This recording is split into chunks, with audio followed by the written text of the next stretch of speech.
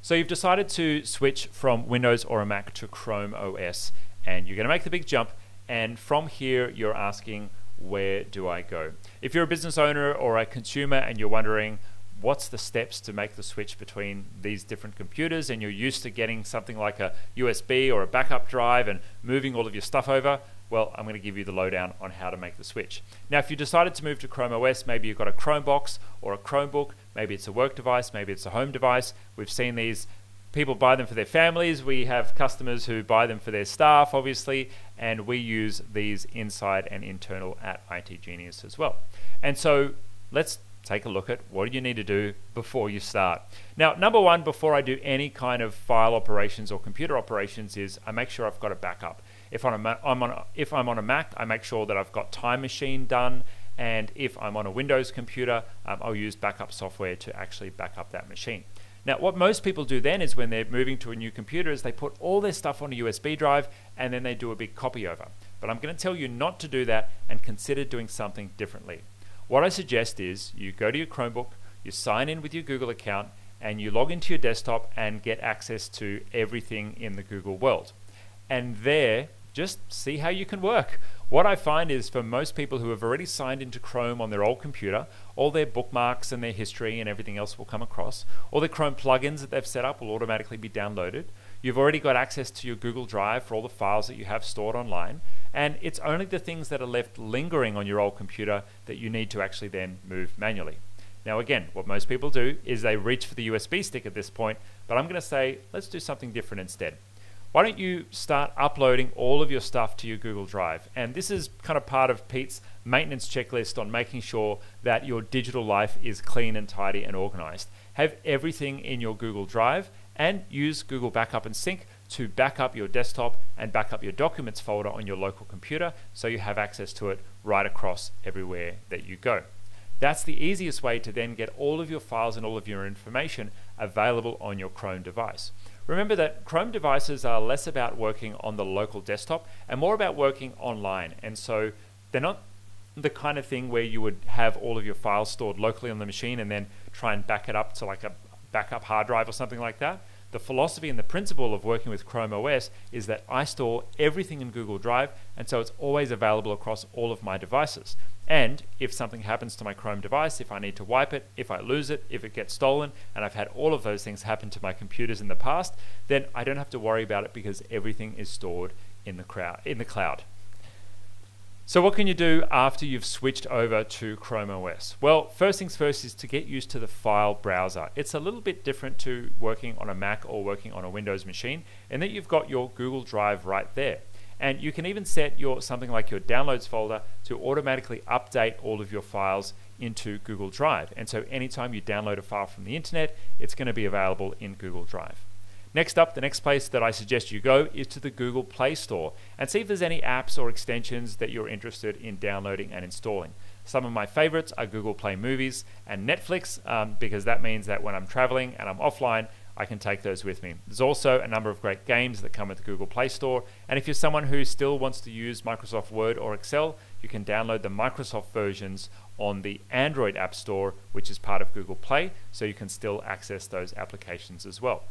Now finally, preparing for working offline, if you head to your Google Drive settings, this should be enabled automatically by default, but just in case, you can go and switch on offline working for your Google files. And what that means is when you're ready to start working offline, you'll be able to access all of your files from wherever you are, make changes, and then they'll be uploaded as soon as you connect to the internet. One is that Chrome has typically less storage on their devices, um, and so you want to get in the habit of doing more things online. What that means is that you're more likely going to be working with cloud and online applications than you are with local applications. If you've got that one Windows application or that one Mac application that you just can't live without in your business, well, you might consider using an emulator or using something like Remote Desktop to access those applications.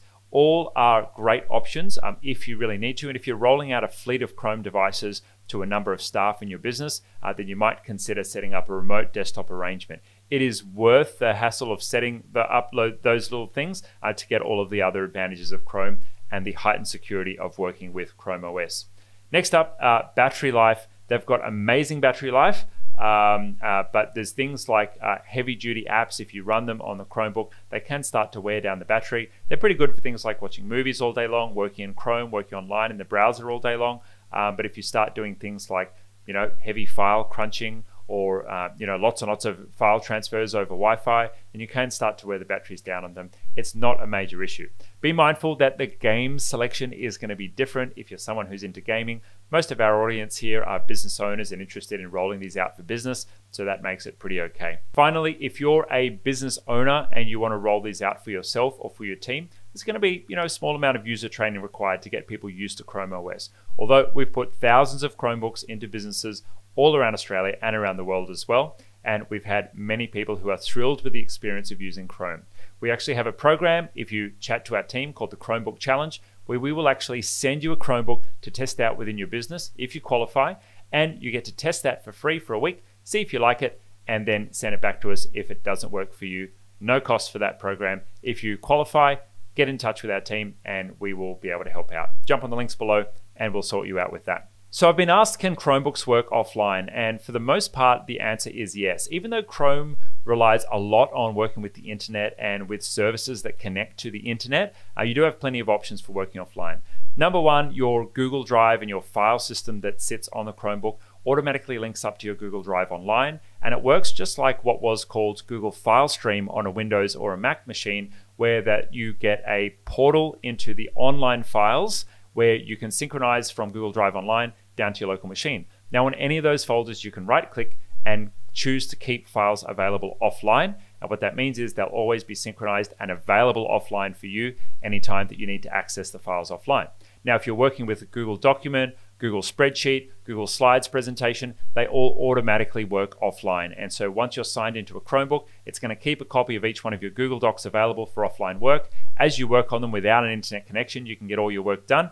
And then as soon as you connect, it's going to synchronize those changes up there as well. Even if you're doing things like editing images or you're working with any of the local Chrome apps, like maybe you've downloaded the Netflix app and you want to watch some movies, all of those things work offline on a Chromebook. Um, you're not streaming the desktop to a Chromebook overall, like it is an operating system, it's a full desktop operating system. Uh, most services need to be online because most of what we do is online these days, but there's plenty of options for working offline when you do need to. So we've been asked about the different tiers of Chromebooks and different specifications with them. Uh, basically, the main difference is a Chromebook that is the lowest cost bracket is more aimed at the education market, and that's designed for students to be able to get one or two things done at a time, and for schools to be able to purchase them cheaply to be able to roll them out to hundreds or even thousands of students. Now, the Chromebooks that are designed for business use and Chrome boxes, which are designed to be used by a person sitting at a desk with one or maybe two monitors, those devices are higher spec, so you can literally open more tabs at the same time. That's about it. You get a better processor and you get more RAM in the higher spec devices, and that just lets you do more at the same time. There's no such thing as multitasking, but many people do like to switch between multiple tasks at a time, and having a Chromebook or a Chromebox with more oomph is going to give you the ability to do more work there. We have a question whether or not Microsoft Office 365 will work with Chromebooks. And Office 365 has online uh, versions of most of their apps, and they will work in Chrome, but they're not the full fledged versions of Microsoft uh, uh, applications. There are a number of other options to get Microsoft apps working on your Chromebook. One of those is to download the Android apps for both Word and Excel and anything else that you'd like to access. Again, they're not exactly the same as the Windows based desktop versions of Office, but they get you pretty close there. The last option is there is now Windows support on Chromebooks for companies through a company called Parallels. And so you can actually spin up a virtual machine on your Chromebook running Windows to run just one app or a number of apps. And if you really need to access a Windows version of Office, then you can access that using the Windows emulator. If you're a business owner and you've not yet been taken through our growth roadmap, then you may be interested in a free consultation with our team. If you qualify, our team will take you through the growth roadmap and see where the gaps are if there's anywhere where you might need help on your business journey with your technology strategy. Now, if you are an existing Google Workspace user for your business, we have an amazing transfer in offer where you basically get access to a Google Classroom with professional training for you and your team to use Google Classroom to the best of its ability. We envisage this to be part of your HR onboarding process. So when you hire a new employee, you put them in the classroom and they go and receive a certificate once they've completed the class and the quizzes so you know they know how to use Google Workspace. And so in here, each lesson has module by module, an easy way for everyone to get through the different stages of learning all about Workspace. And that makes you sure that your team have all of the skills and all of the competency required to be productive in your business. Now, to get access to the transfer in offer, not only do you get access to the classroom, get free limited access to our support team. Uh, you get a free check of your DNS records just to make sure that you've set up all of the records correctly in your workspace account. Sometimes people miss the SPF or DKIM or DMARC records, and emails can end up in spam and that kind of thing. So we just do a little check there. And then finally, if there's ever an issue there, um, then you actually have emergency access from our team. Uh, we have backup access to your account. If you're interested in that offer, head along itgenius.com forward slash transfer and get access to that. Thanks for being here, guys, and we will catch you in the next one. If you have questions, drop them below, and uh, we will see you soon. Cheers.